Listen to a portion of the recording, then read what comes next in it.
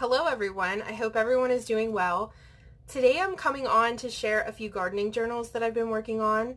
I have been working on these journals forever and it took me a very long time to get them done, but they are complete and so today I thought I would come on and do a flip through of each one. I've made five total and I'm going to plan to put them in my Etsy shop tonight so I thought I would come on and make a video and do a flip through of each one. Um, I made them by using some vintage wallpaper for the covers. So the front is vintage wallpaper and then the back has like a matching um, cover as well. And I thought that was re really cute. And then I also did an open spine and like some lace closure, like a lace closure here. And I just thought that was just such a cute little touch. It, it kind of like makes it a little more I don't know, casual or I don't know, it just looks so handmade and and pretty to me. I love that binding and and one day soon I am planning to make a video on how exactly I did that. It's really not that that hard. But anyways, um they got to be a little bit chunky, so I just tied them with a little bit of twine, but obviously you could take that off or, you know, put your own closure on whatever you you choose. Um, I have five total and I have two green ones, two white ones, and I also made this one, which is so pretty. I love the white rose and I love this beautiful raspberry colored flower. It is so pretty. Well, those are roses, I guess. Um, with the lace closure and this is sari silk on the the side binding. And like I said, they're pretty chunky, but they're super cute. So yeah, so these green ones are sold and um, I will go ahead and start the flip through of this one and then we'll get started. Actually, I'm going to move my camera up a little bit closer, so I'll be right back. Okay, so I don't know if I said this already, but the whole concept of this journal is to kind of record your gardening adventures. Um, I had made myself a journal like that and I just really like the concept of, you know, doing a page for each flower that you love or you certainly do not have to use this for gardening. You could use it for um, your personal writing, everyday journal, anything you really want if you love flowers. So, um, and if you don't garden, this is a great way to really enjoy you know, flowers and growing and everything like that. So let's go ahead and open the journal. So like I said, front and back has vintage wallpaper with the lace, the lace closure. And then you open it up and it has some beautiful um, antique rose printables that are going to be in my Etsy shop. I've also been working on some really beautiful garden printables for my Etsy to kind of coordinate with these journals. So um, tonight I should list those so you can check out my Etsy shop as well for a lot of the printables that you're going to see in these journals. Um, and then this is a little fern that I took from my garden and I made a little tag out of it and it is super cute and it has the word garden right there and I love this little this little fairy girl. She is just so adorable. She's riding on her butterfly and she's kind of like the the little mascot of these garden journals. So then you flip it for that page and then there's some French script paper and then this pretty garden lady some flower seed ephemera. And then this is um, a little belly band slash like pocket, but you can put something all the way through. And um, this was actually like a tutorial from Amity Bloom that I followed. And I love, love, love, love that. And then this is some beautiful paper that I um, tea-dyed. Little bird because birds are in the garden, you know. Oh, geez. I got it stuck already. Okay, and then this page has a little pocket here with some ephemera some sweet little butterfly tag.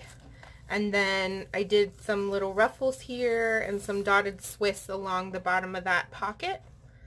And then this is another beautiful printable that will be in my Etsy shop. It's like all these antique rose flower magazine book pages. They're so beautiful. And then this fabric is 1940s. It's so cute. It has little polka dots. And then just some ephemera inside. Vintage postcard here. Um, and some other ephemera. Gardening related.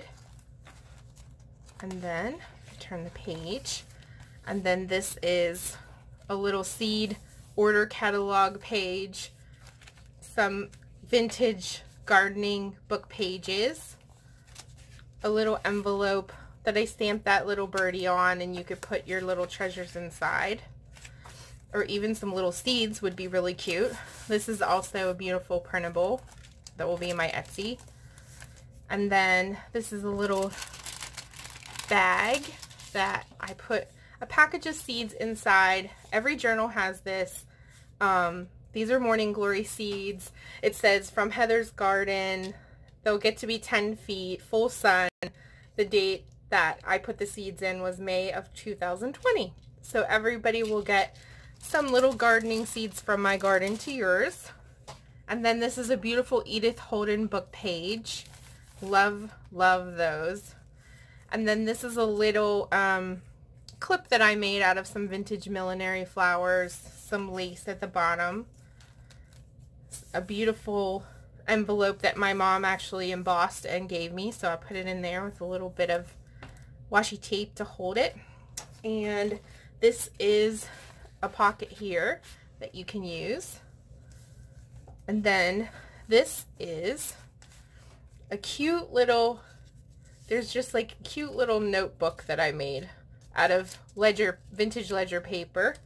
And it goes right in that tag and some little butterflies that I stamped. I did some modeling paste there.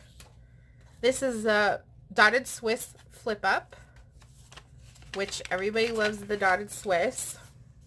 And then this is some vintage trim that I made a pocket out of. And then I created these um, in Photoshop by making journaling cards out of some, again, some um, gardening, old gardening magazine illustrations. So one says perennials, one says annuals, and one says vegetables. And I thought that you could keep track of whatever it is that you're planting in your garden. I really love those. And then some dot, a little dotted Swiss bow. And then this is the center which is also a printable in my Etsy shop. These are some gorgeous roses, um, rose paintings from the 1800s, just beautiful. And I printed this on tea stain paper, so um, it just looks so pretty on the tea stain paper.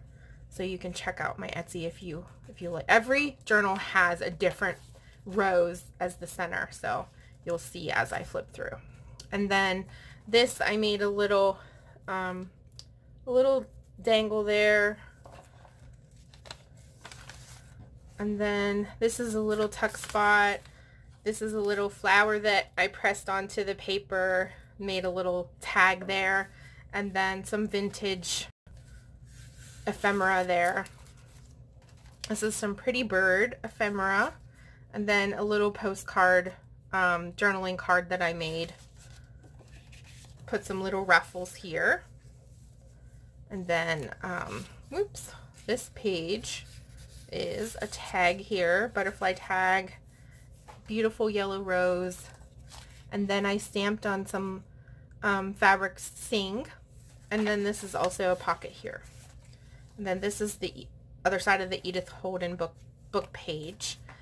And then this right here is a pocket that I made like that. You can put whatever in there. And then inside here is a beautiful little, I hope you can see it. It's very faint, but it is a printable of a little girl pencil drawing and she's in her garden and she's holding her little basket here and she is adorable. I hope you can see that. But um, yeah, that's in there.